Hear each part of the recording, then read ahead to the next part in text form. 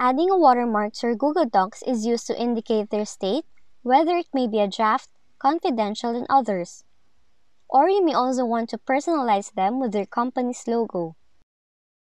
This is also a new feature in Google Docs, and here's how to do so.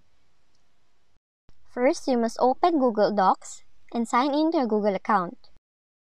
Then click on Insert, and in the drop-down menu, click on Watermark.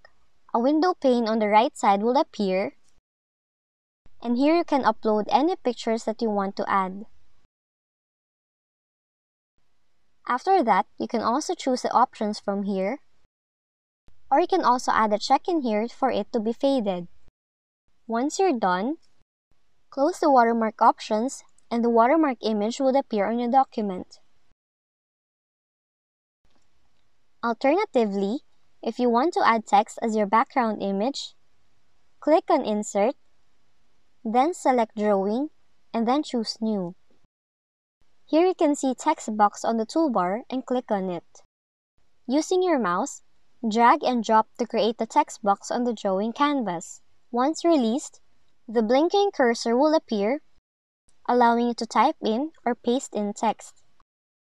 Once you've added your watermark text, select it and then format it using the options in the menu bar. You may need to click on the three-dotted More button to view all of the options. You can change the font, text size, text emphasis, spacing, alignment, and more.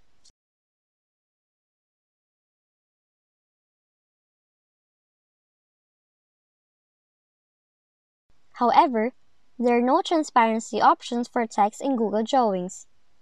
Therefore, you need to choose a lighter text color, and for this instance, we'll choose gray to apply a similar effect. Once you're done, Click on Save and Close.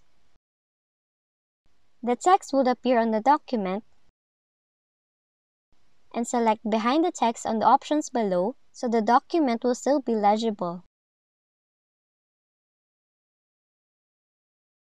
And that's how you add a watermark on Google Docs. If you found this video helpful, kindly like and subscribe. You may also click and turn on the notification bell so you can be notified from whenever we release new videos.